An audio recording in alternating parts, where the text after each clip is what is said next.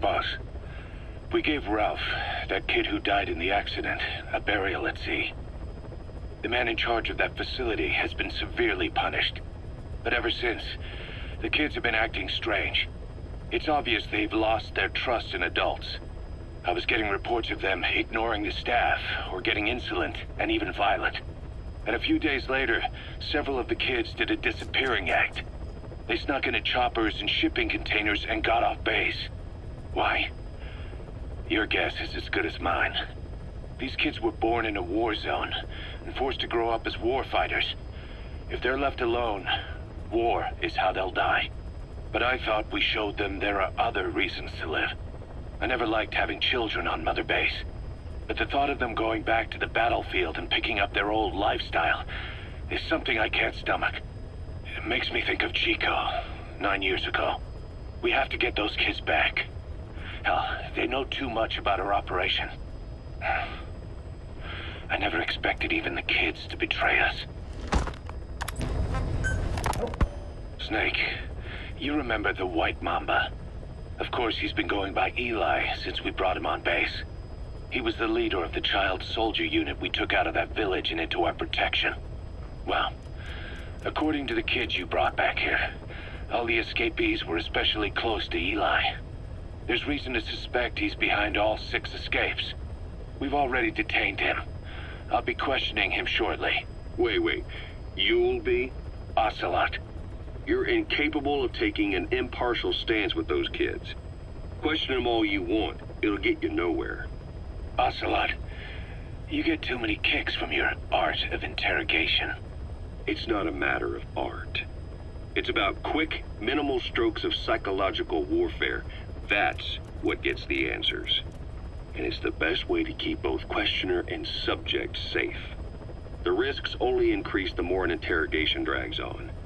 At that point, it causes as much pain to the inflictor as the inflicted. Like I said, too many kicks.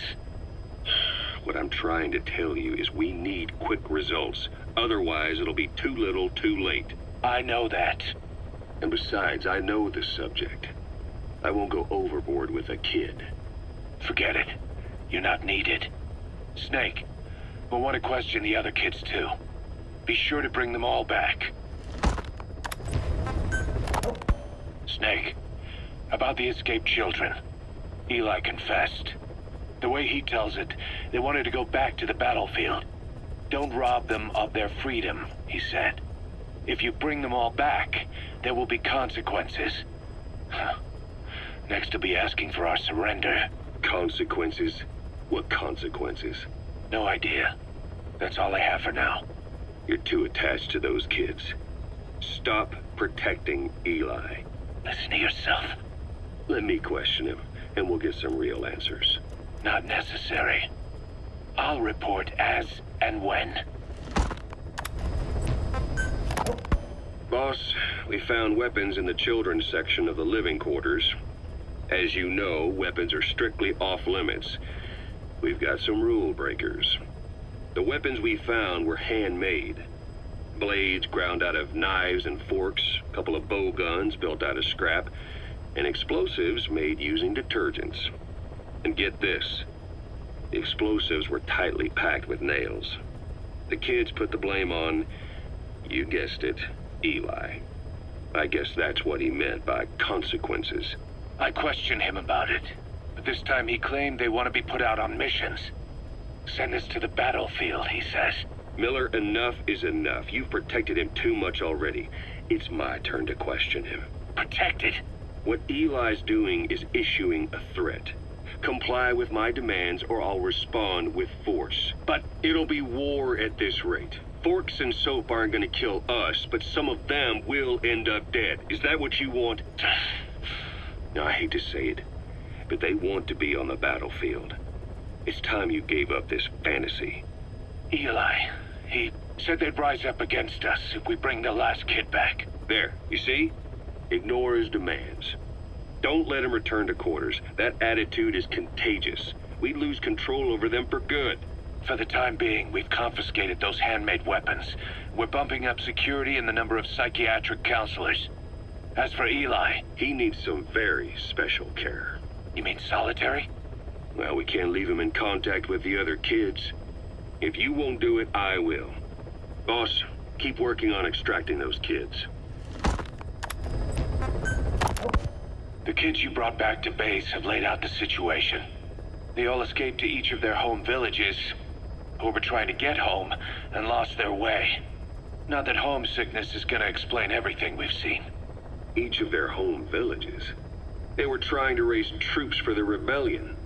You really think these kids have an armed uprising in them? You read the report of the security team member who had a rock thrown at him. There'll be a riot if we don't do something. And Miller, this is because you didn't act fast enough. Fine. I'll admit you were right this time. Seal off the kids' quarters from outside contact before it's too late. All right. Eli said his rebellion would start when the last kid is brought back, right? You better be ready to meet him head on if it really happens. Yeah. You should have left it to me in the first place.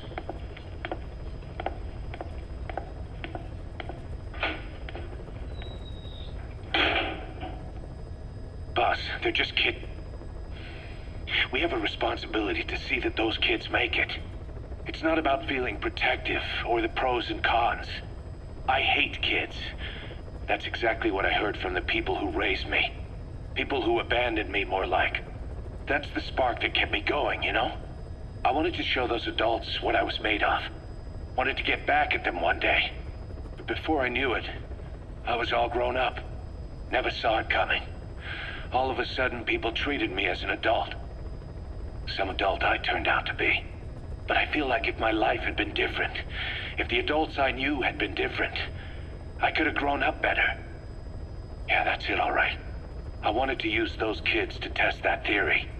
That's all this was. From their point of view, I'm no different from the assholes who gave me a hard time.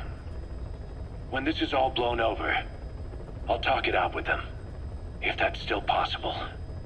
Boss, there are still kids out there. Bring them back safe. Boss, it's me. Eli's revealed what he wants. He wants to speak with you. With Big Boss. He just said, bring my father here. Eli's too smart for his own good. No way to tell what he's thinking. All we know for sure is his men are important to him. That means we can use the escaped kids as leverage in any negotiation. Once you've brought the last one back, I'll interrogate him. If the kids do rise up, we'll meet them full force. End of story. I didn't want things to turn out like this. We could have prevented it, but it's too late now. If Eli means to take this all the way, he's gonna force us to do the same. Boss, go get that last kid.